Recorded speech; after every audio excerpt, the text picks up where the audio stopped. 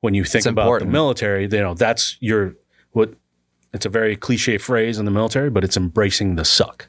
Mhm. Is the term that it gets thrown a lot around.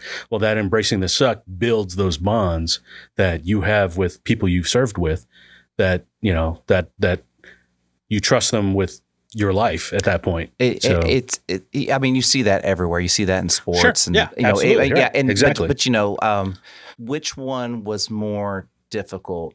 The joint, the army situation, or like the navy situation? Uh the army physically Because you're older, because I'm older. right? Uh the navy mentally. yeah.